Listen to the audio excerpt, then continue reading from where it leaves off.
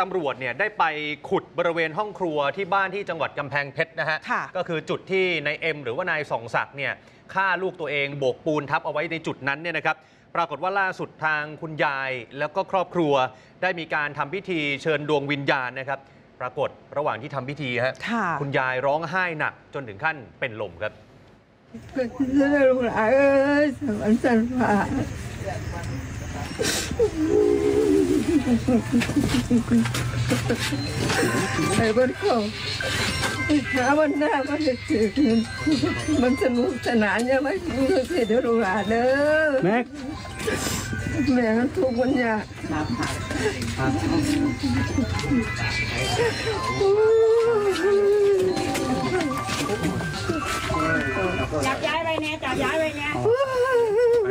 ว่าไปย้ายออกไปไปย้ายย้ายย้ายออกไปขึ้นไปลุกลุกลุกไป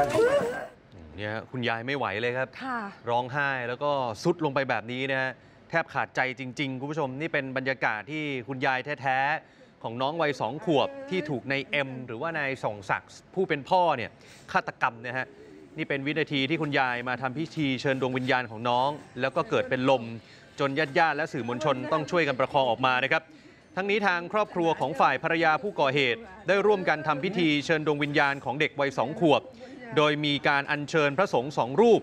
จากวัดในพื้นที่มาทำพิธีอัญเชิญดวงวิญญาณภายในบ้านหลังเกิดเหตุนี่นะฮะและระหว่างทำพิธีเนี่ยคุณยายเนี่ยร้องไห้ด้วยความเสียใจ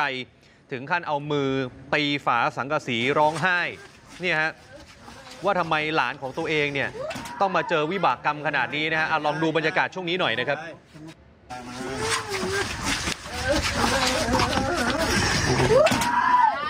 ยายยายยายยายยายสงบจิตสงบยายยายยายยาย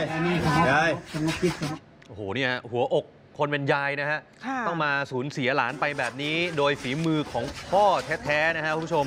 ครอบครัวบอกว่าเสียใจมากที่หลานต้องมาตายแบบนี้ และหากไม่ทำพิธีเชิญดวงวิญญาณทางครอบครัวก็รู้สึกไม่สบายใจ